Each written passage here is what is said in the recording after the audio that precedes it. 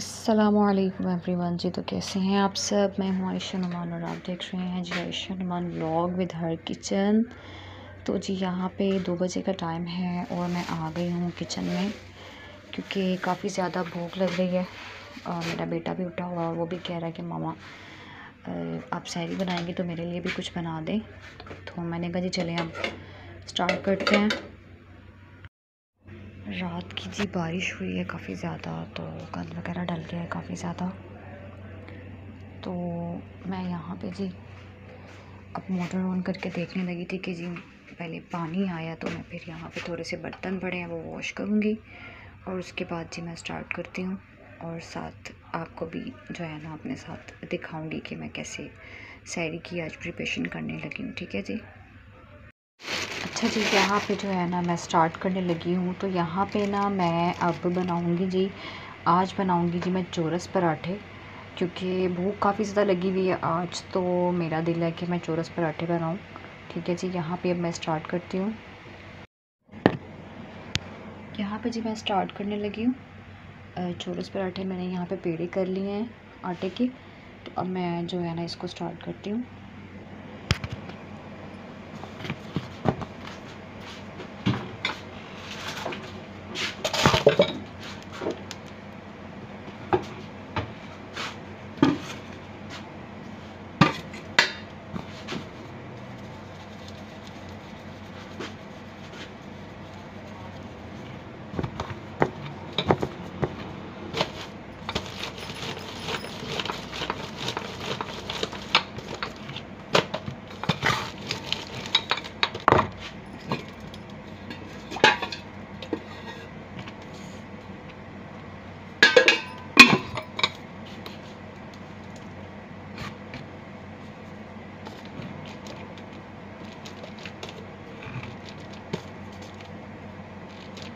ये देखिए जी, हमारा ना एक चोरस पराठे का जो है ना एक पेड़ा रेडी है।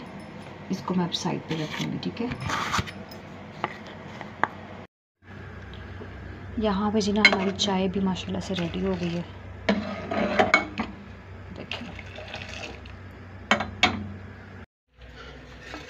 अच्छा जी, ये यहाँ पे जो है ना हमारा पराठा माशाल्लाह से रेडी है।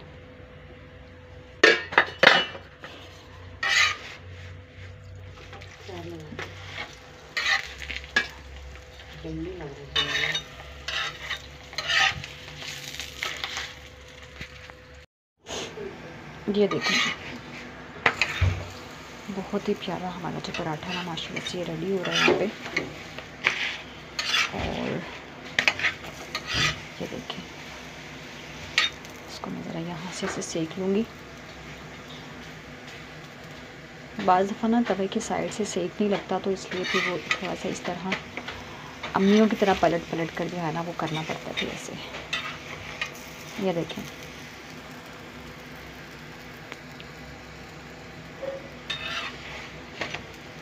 लुक एट दिस माशाल्लाह से बहुत प्यारा पराठा हमारा रेडी हो रहा है, चौरस वाला।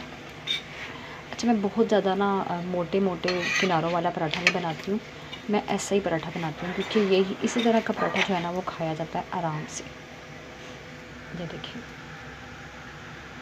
बहुत प्यारा बना है, माशाल्लाह से पराठा हमारा। अब जी मैं हस्बैंड के लिए यहाँ पे अंडा फ्राई करने लगी हूँ।